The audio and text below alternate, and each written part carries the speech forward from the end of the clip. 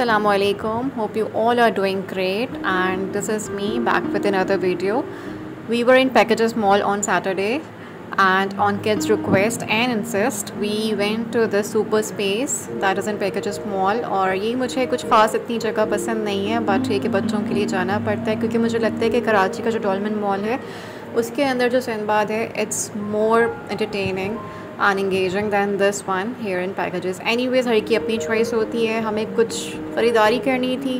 ख़रीदारी भी क्या कि बस बहुत इंपॉर्टेंट कुछ ट्राउज़र्स ट्राउज़र्स लेने थे so we went there for that and जब बाहर निकले तो बारिश हो चुकी थी एंड गर्मी का ज़ोर जो है that wasn't there any more but नमी बहुत ज़्यादा थी हवा में। And when we started driving, it was all filled up with water everywhere around. पता नहीं क्यों इतना पानी थी देर में कैसे आ गया क्योंकि बारिश को हमने विटनेस तो नहीं किया कि कितनी हुई है बट आई थिंक काफ़ी हो गई थी। हमें एक घंटा लगा तकरीबन वापसी में घर आने में and when we came back we were just tired to the bones we sat with the tank और टैंक पी के हम सारे ठूस होकर बैठ गए, और हमने ये मैच देखना शुरू किया। और मैच देखते देखते जो है, हमें काफ़ी रात हो गई थी। Any ways it was the next morning and we decided to have this beef biryani which I am preparing right now since we are sleeping so late कि हमें सुबह उठते उठते जो है बिल्कुल पता नहीं चलता किस टाइम पे हम उठ रहे हैं। Mostly it's like twelve thirty और ट्वेल्व ओ क्लॉक हमारी मेड आती है तो वही हमें उठाती है कि अब उठ जाओ लोगों। एनी वेज़ ये हमने बनाना शुरू की थी ऑलमोस्ट वन थर्टी पे और उस वक्त इतनी गर्मी थी किचन में कि बस अल्लाह ही जाने। अच्छा ये योगर्ट जो है आई थिंक लाहौर में इस तरह की नॉट लगाते हैं, क्योंकि मैंने इस तरह की नॉट कहीं और नहीं देखी है और इसको खोलना थोड़ा सा ट्रिकी होता है, इसको टाइम लगता है समझने में। I just did some cutting of the beef मैंने बोनलेस जो था, उसको अलग किया था, उसकी फ़ैट मैंने अलग कर दी थी। और ये योगर्ट के अंदर मैंने बिरयानी ख़ास मसाला बाई नेशनल मैंने डाल दिया था।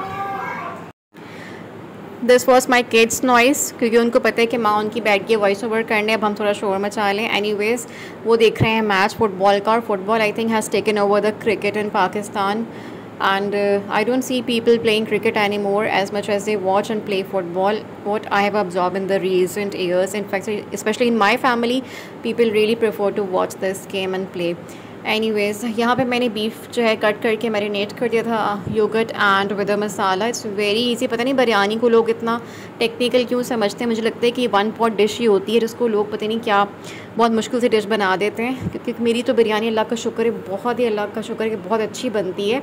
एंड चाहे वो चिकन हो या बीफ हो या मटन हो it taste is always great अब मुझे अच्छा लगता है कि पहले से आप इसको थोड़ा सा ना प्रिपेयर करके रख दें with the masala and the chicken उससे क्या होता है कि या जो भी गोश्त आपने लिया है कि जो it absorbs the taste inside so well कि आपको खाते हुए जो चिकन या जो भी आपने मीट लिया है, वो फीका नहीं महसूस होता। जबकि मैंने अक्सर जगह पे जो बिरयानी खाई है, वो उसमें मुझे होता है कि जो राइस में टेस्ट है बट जो the boti itself does not have any taste any अभी जो हमने अपना काउंटर भी क्लीन कर लिया था। काउंटर चमकता रहना चाहिए। इसकी चमक कम नहीं होनी चाहिए, क्योंकि जितना काउंटर आपका साफ़ होता है ना, उतना मुझे लगता है कि you feel organized and seems like you have done something in the kitchen so well that nothing has spread any time during your stay.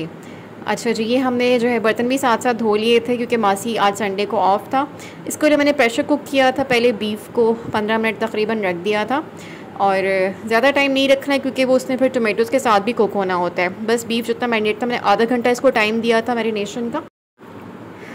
और बच्चों को मेरी बिरयानी इतनी ख़ास पसंद नहीं है। वो कहते हैं, बस ठीक है। पता नहीं कि मुझे लगता है कि आने वाले कुछ सालों में ना मेरे घर में से बिरयानी बनना बंद हो जाएगी और मेरे घर में जो है ना सिर्फ़ फ्रेंच फ्राइज़ बना करेंगे। खैर, आने वाले वक्त का तो वी डोंट नो कि what is going to happen so let's just not speculate more than this ये मैंने जो है लेयरिंग का जो है कुछ इंग्रेडिएंट्स कट करके रख लिया because I feel layering gives a lot of difference to the taste of the biryani अगर आपकी लेयरिंग में कुछ मिसिंग है ना, और आपने की नहीं है सिरे से तो I think you are not eating biryani you just having a masala on the rice anyways ये मैंगोज़ भी थे जो मैंने किए कट क्योंकि अब मैंगोज़ का सीज़न जो है इतना लंबा नहीं होता एज आई हैव ऑब्ज़र्व कि सिर्फ़ दो महीने के लिए you get to see the aam. Otherwise जो है mangoes are like you know here for a very short period now I remember when we were kids the mango period was used to be like six months I guess और चलो, ये तो मैंने लंबा कह दिया, चलो फोर मंथ्स कर लो but now it's hardly two months we get to see the mangoes on the streets with the vendors any वक्त बदलता है और वक्त के साथ इंसानों को भी एडजस्ट कर लेना चाहिए, मेरा तो अपना यही पॉइंट है। अब यहाँ पे जो है marinated and the pressured cook beef मैंने डाल दिया था टोमेटोज़ के मसाले में। मैंने कभी भी अपनी बिरयानी में प्याज नहीं डालती। हाँ ऊपर से स्प्रिंकल कर दूँ the brown pyaz that's another thing but I avoid adding the onion क्योंकि मुझे लगता है उससे थोड़ा टेस्ट मीठा हो जाता है। आप सिर्फ़ टोमेटोज़ और ग्रीन चिली को ऑयल में कुक करें, हल्का सा नीचे गार्लिक पेस्ट डालें एंड जो अभी आपने जो मैरिनेशन आपकी बीफ या मटन या चिकन के वो डाल दें and you good to go ये मैंने पोटेटोज़ डाल दिए थे। इसके बाद आलू बुखारा भी डाल दिया था। एंड इसके अंदर मैंने मज़ीद मसाला I have avoid adding because एक it will be getting too spicier if I throw more masala into this. So I just covered it and let it cook for like 15 minutes till the aloo, aloo the potatoes become the tender anyways अब हमने जो है पानी भी रख दिया था rice का। राइस जो है कुक करने हैं। इसके अंदर पानी में हम कुछ ख़ास मसाले नहीं जब खड़ा गर्म मसाला आपने जितना भी है वो डाल देना होता है। तेज़ तेज़पत्ता लौंग इलायची छोटी इलायची थोड़ा सा ज़ीरा, काली मिर्च वगैरह डाल के इसको आप रख दें। सॉल्ट ज़रूर डालें इसके पानी में क्योंकि सॉल्ट जो है राइस ने यहीं से एब्जॉर्ब करना होता है। Anyways the potatoes are tender now अच्छा ये कोई रेसिपीज़ वाला सीन इतना नहीं है मेरा बट ये क्या enjoy talking about the food that I have cooked so आजकल तो हमारी यही रूटीन चल रही है तो हम आपको यही दिखाने वाले हैं। फील के हर घर की बिरयानी का अपना एक टेस्ट होता है, सबका अलग अलग होता है। और कुछ बीफ बच गया था तो मैंने उसके पैक्स बना के जो है अंदर रख दिया था। अच्छा मुझे लगा कि मेरा फ्रिज जो है ना, उसको सफ़ाई की बहुत ज़रूरत है। अब टाइम ही नहीं इतना मिलता, क्योंकि सोने उठने की कोई रूटीन नहीं है। ये मेरे बच्चों को बहुत भूख लगी तो they wanted to have some tea cookies तो मैंने जल्दी से टी बैग जो है वो गर्म पानी करके कैटल में उनके लिए टी बैग वाली चाय बनी सो देख के ईट द कुकीज़ और the cake rusk with the tea anyways यहाँ पे हम आ गए दोबारा से बिरयानी की सेटलमेंट देखने के लिए। और ये इतना टाइम टेकिंग नहीं था, ये प्रोसीजर सारा लग बहुत रहा है बट ये कि कम टाइम में ये बनती है। क्योंकि इसमें प्रेशर कुक होना होता है टोमेटो जल्दी से टेंडर हो जाते हैं, बस आपने डाला, आलू डाले, बस एक फिफ्टीन मिनट्स का जो कुकिंग टाइम है, ये ऐड इसके अंदर करना होता है। अदरवाइज़ ये जल्दी ही कुक हो जाती है। बस राइस आपने साथ साथ जो है बॉईल कर लेने राइस जो है कितने खेले खेले मैंने सेला चावल इस्तेमाल किए थे, क्योंकि बिरयानी के लिए specially we buy this kind of rice so so, इसलिए कि आपको लगता है कि आप बिल्कुल बाज़ार वाली बिरयानी खा रहे हैं। लेयरिंग में मैंने जो है टोमेटोज़ डाले थे I had some mint and some coriander जो मैंने जो है इसके अंदर डाला था। उसके बाद मैंने लेमन डाला था। योगर्ट आई ऑलवेज़ ऐड इससे क्या होता है कि जो टेस्ट होता है ना राइस के अंदर जो मसाले का वो बहुत अच्छा एब्जॉर्ब होता है। और हर राइस का जो होता है टेस्ट जो है वो बिरयानी का आ रहा होता है। कोई भी चावल इसमें फीका नहीं होता adding this yogurt into that और वो कुक भी बहुत अच्छा हो जाता है during the dum I just gave it like two layers I remember और उसके बाद मैंने इसको दम दिया था ऑलमोस्ट पाँच मिनट जो है आँच मैंने रखी थी तेज़ और उसके बाद मैंने उसको बहुत कम कर दिया जब उसका स्टीम बन गया था.